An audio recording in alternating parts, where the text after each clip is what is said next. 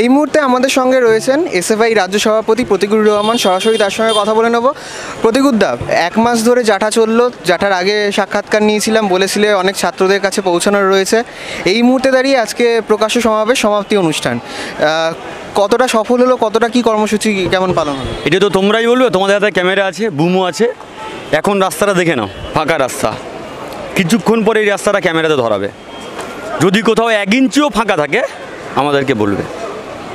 যে এখনও যা খবর আসছে, আজকের বৃষ্টি হোক বা না হোক, আজকের জল আসুক বা না আসুক, আজকের কলেজটির উপচাবে, হাজার হাজার কালো মাথার ভিড়ে উপচাবে। একটা মিছিল অলরেডি শুরু হয়েছে, হাওড়া থেকে আসছে, ওটে ঢুকলে হাফ ভরে যাবে।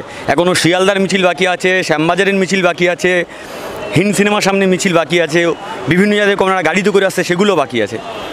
ফলে আজকে কলেজটির উপচাবে তোমরাই বলবে।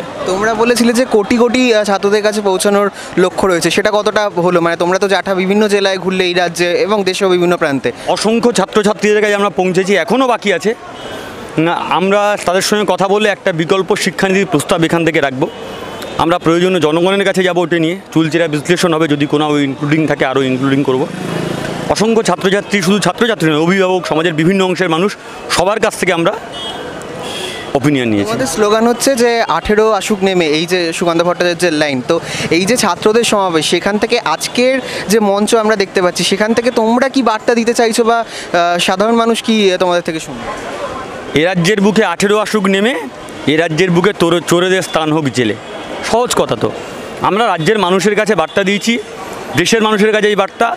শিক্ষাকে বাঁচাতে হবে, সংবিধানকে বাঁচাতে হবে, দেশকে বাঁচাতে হবে, পশ্চিমবঙ্গের মাটিতে যেভাবে তৃণমূল ছাত্র পরিষদ গোটা কলেজটাকে দুর্নীতির আখড়া বানিয়েছে, এদের স্থান একমাত্র জেলখানা ছাড়া অন্য কোথাও সম্ভব নয়। এদের মধ্যে জেলে পড়তে হবে কলেজের সুস্থ রাজনৈতিক পরিবেশ কলেজে ভর্তি ফিস কমাতে হবে পরিবহনে হাফ নিতে হবে বিভিন্ন ছাত্রছাত্রীদের দাবি দেওয়া নিয়ে আমাদের মূলত এই সমাবেশ। কয়েকদিন আগেই তৃণমূল ছাত্র পরিষদের যে আহ, ব- বছ- ব- বছর পূর্তিতে যে সমাবেশ হলো এটা কি তোমাদের সেই সেই জায়গায় দাঁড়িয়ে চ্যালেঞ্জ প্রথম কথা হচ্ছে তৃণমূল ছাত্র পরিষদের সমাবেশটি আদৌ ওটা হয়েছিল? ওখানে ছাত্রদের কোনো ইস্যু অ্যাড্রেস হয়েছে? একটা ইস্যু বলুন তৃণমূলের সভাপতি বলেছে তৃণমূল ছাত্র পরিষদের অন্যান্য নেতারা বলেছেন রাজ্যের মাননীয় মুখ্যমন্ত্রী বলেছেন একজন সাংসদ বলেছেন শিক্ষার ইস্যু ওই ওই প্রোগ্রাম থেকে অ্যাড্রেস হয়েছে।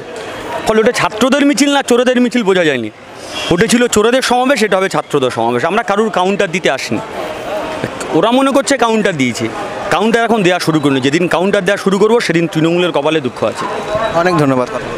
মুহূর্তে আমাদের সঙ্গে রয়েছেন পশ্চিমবঙ্গের রাজ্য সম্পাদক এসএফআই রাজ্য সম্পাদক সুজন ভট্টাচার্য। সরাসরি তার সঙ্গে কথা বলব সুজন দা, এই সমাবেশ জাটা শুরুর সময় তোমার সাক্ষাৎকার নিচ্ছিলাম তুমি বলেছিলে কোটি কোটি ছাত্রদের কাছে যাবে। সেটা কতটা সফল হলো?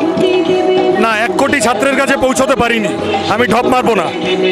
কিন্তু লক্ষ্যমাত্রার বিরাট বড় অংশ কভার করতে পেরেছি।